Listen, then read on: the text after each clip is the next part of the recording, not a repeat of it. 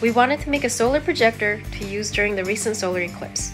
We found all kinds of pinhole projectors made of tubes and boxes, but settled on using an old set of binoculars. We wanted to make a Lego scene in front of the projected sun.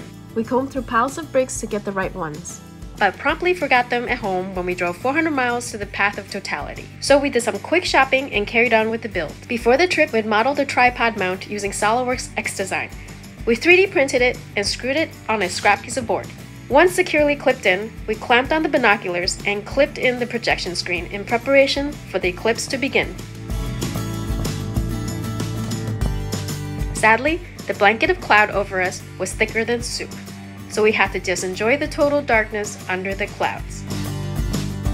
But when the clouds subsided almost immediately after the eclipse passed, we were able to enjoy the solar projection in its full glory.